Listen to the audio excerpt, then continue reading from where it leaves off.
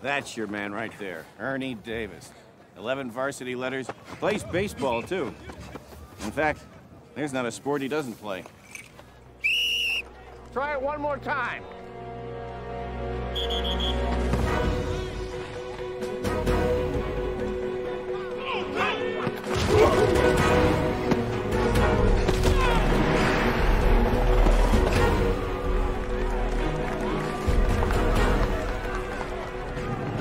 Let's see what he does.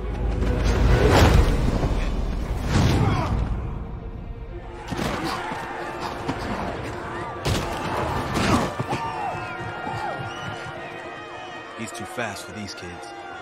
He's too fast for anybody.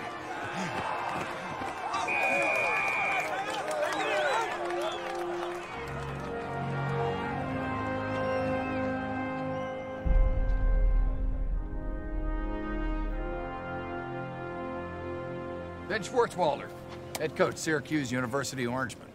Pleasure to meet you, sir. Pleasure to meet you, son. You know why I'm here? Same reason as Notre Dame, sir? Yeah, same reason. But don't just take my word for it. Uh, Jim! Jim! I'll be right back.